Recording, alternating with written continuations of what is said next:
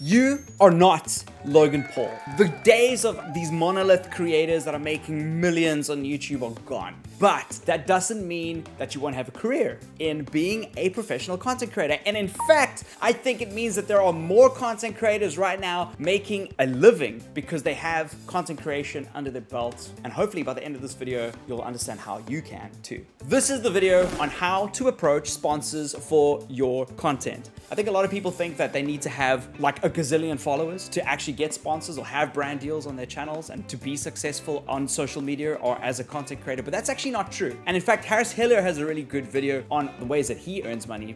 I don't know, make a pie chart here. And I think it's a great way to look at your business as a pie chart, which he did. So I've been doing this for just over a decade and making a career out of it. And that is exactly the way that you should look at it. Some people think they have YouTube ads as their primary income, but that's not the case. And in fact, that's really bad to rely on ad revenue or Twitch sponsorships for a sustainable income. You actually need to have a business model around what you are doing. Before you even draw up a business model, you have to work out who you are. What are you doing on the platforms? Like a lot of people just want to be famous. And if you just want to be famous, unfortunately, this isn't the space for you. You're not going to do well. People can see through that like, like this. We're not stupid. We understand how social media works. We watch a lot of YouTube. You can see if somebody is being false. We're pretty tuned into that. So if your interest in doing any form of content creation is just to be famous, you're gonna fail immediately. You need to have a message. You've got to be some passionate about something else or subject matter that is not just being famous for the sake of being famous. You either have to be passionate about music or about live streaming, about video games, about knitting, about dinosaurs. I get so many videos served to me about dinosaurs and sharks because I'm just in that click hole on the algorithm and they are content creators. There's a guy called Clayton he just does Jurassic Park lore. And he is able to make a sustainable living doing that thing because he cares about it and he's passionate about it. So you gotta find out who you are. Find your passion. Find the thing that you are good at talking about. A good tact is ask your friends and be aware if your friends ask you for something in real life, take note of what that thing is. Why are they considering you an authority in that thing? Remember that pie chart that Harris Heller had up. I don't know, make a pie chart here. Remember all the different ways that you can make money. This video is specifically on how to generate money from sponsors. Sponsors will always pay you more money than what you would receive from any other financial source on your channel. Whatever you think you're making in ad revenue, you could be making five times that if a sponsor was on that particular video. It depends on your size, but generally, if you're getting the viewership that sponsors are interested in, that lump sum of money initially is generally more because they want to speak to your audience. So it's very good to start putting together proposals for clients. And that's why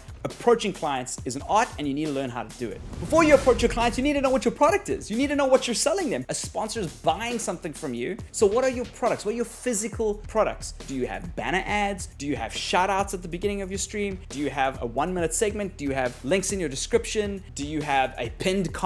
Those are all tangible products, firstly on YouTube, but you can find them on versions of them on all different kinds of social media. Is it a product feature on your Instagram profile? You've got to have a way to list those products and make sure that when you're selling them, you itemize them to the client. So I'm gonna pull figures up my head here, but like $200 for a tweet or $300 for a squeeze back that you run on your stream every half hour or whatever the case is. And then that's how you come to your total. You need to work out what those products are and what the value of those products are. What the value is, is actually one of the hardest parts of this whole thing. You need to work out what clients are prepared to pay for when it comes to the actual products that you're developing. This isn't a charity exercise. A brand doesn't approach you because they want to help you. They're not a charity organization, they are a for-profit company. And if they give you headsets, they want return on that. They want to be able to quantify the loss that they've had because by giving you a headset, they're losing something and they need to quantify it.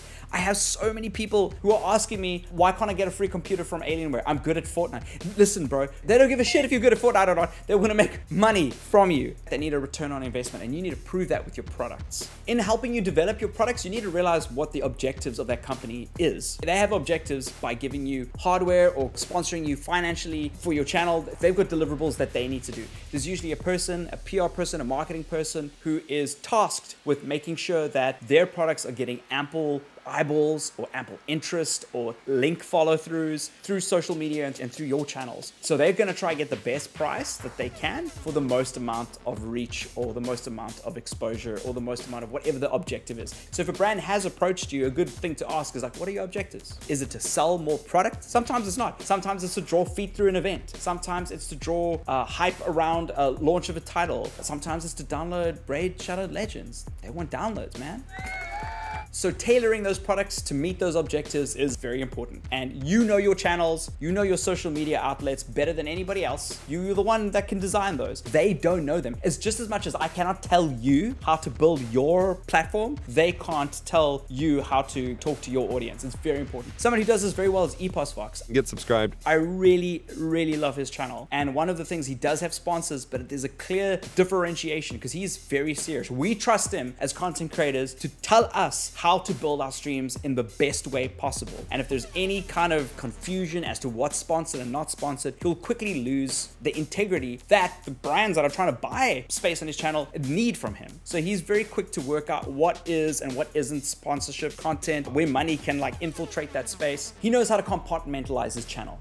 Once you've done that, that's the hard work. The next thing is to create like a menu and build proposals. Send them out to clients, approach clients with something. It shows that you know what you're talking about when you've itemized what it is. It might not be what you expect. It literally might be like, hey, I'd like headset, keyboards, and a mouse for, you know, six months of live streaming and your logo on it. And its value is X because you've quantified what that value is. They can determine whether that quantification is accurate or not, but you being honest and providing the best price means that those clients will probably come back, number one. And number two, they trust you with this part of the work. You will fail. You will fail frequently. For every 10 clients that you send proposals to, maybe one will bite. But it's okay. That's normal. That's what everybody goes through. And we go through so many coffees and discussions and consultations with brands that don't really lead to anything. But at the end of the day, you just need to land one sponsor to begin with. I'm talking specifically to people that are new to the space, that are trying to get their Instagram business up or their YouTube business up. You need one sponsor off the get go. So approach somebody that you know that's got a business that can go out on a limb for you because it might be your first client. You'll see why this is important. They might be able to contribute a little bit of finances to the project, but at the end of the day, you'll be able to give them a lot more exponential value than they would if they try to do their own marketing. You are providing a marketing solution for them by approaching somebody that you know. You've already established that trust with them. They know who you are and they know that they can trust you.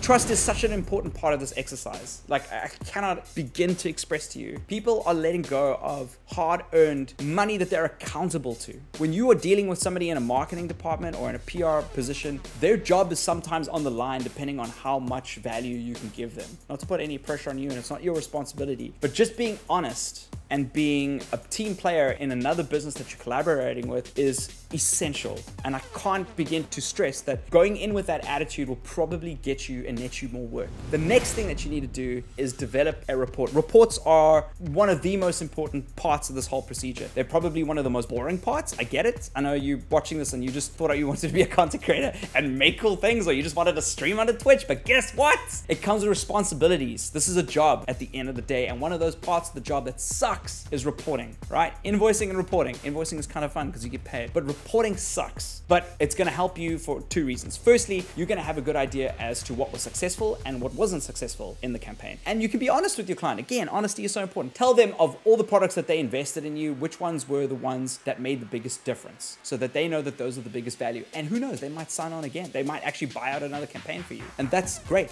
If they had objectives that they needed to meet, and this is the most important part of the early on equation, you need to make sure that you get those objectives down in the report. Like, did you meet those objectives, even to a little degree? You're probably not going to meet every brief's objectives, and that's normal. You don't have to beat yourself up. But at the end of the day, they want to see if those objectives were met through you, and if they need to do that again, they can rely on you to do it. But your client might not be happy, and you might not be able to work with them again, and that's that's okay. But remember, there are lots of other clients that were potentially keen to work with you. Step up and take ownership for the mistakes that you made in that last campaign. But make make a case study because you can take that case study through to other brands. You don't need to tell too much of the detail. Highlight one or two factors, like how many people came through from a click. That information is yours as much as it is the client's. How many people watched your video? What was the engagement rate like? Engagement rate is so important, and it's why short form video is taking over this long form video. By taking that case study to a brand new client and you've refined your next proposal based on the reports that you did for the last campaign, you can be an even more successful content creator for another brand. And even just showing the humility that you've actually learned something and that you can help teach that brand. Sometimes some companies need help being taught.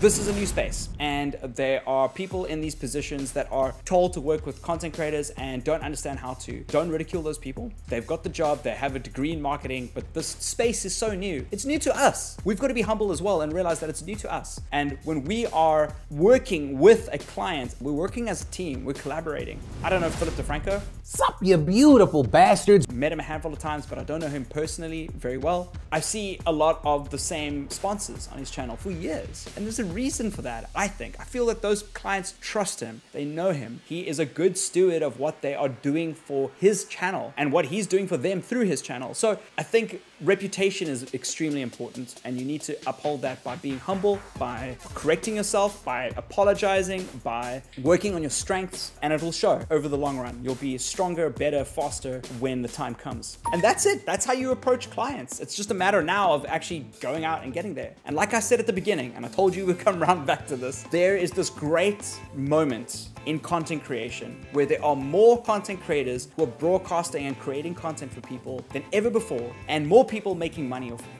the celebritization of these huge people that happened like in the late 2000s, early 2010s, even 2017, 2018, like that was still happening. And to a degree, it does still happen. The vast majority of content creators that you watch on this platform and on other mediums aren't huge celebrities. We're people that are here to help you and inspire you or interesting to a degree. And that is why you consume that content. And if you can be that person for somebody else and you have got a good business model behind what you're producing, there's a very good chance this could be your job. Anyway, go out and make some cool stuff. I'm really excited to see what you've done. Share some cool things in the comments. There's another video that's over here. There's an algorithm on YouTube. This one here is best for viewer. I've clicked it. So it's different for everybody watching it. And that's you. YouTube thinks you're gonna like that. It might be cool. On this side over here, we have um, my face. And uh, if you click on that face, you can stick around and get more of these videos. Hopefully I'll be making a ton more. I'll see you guys in another video. Cheers.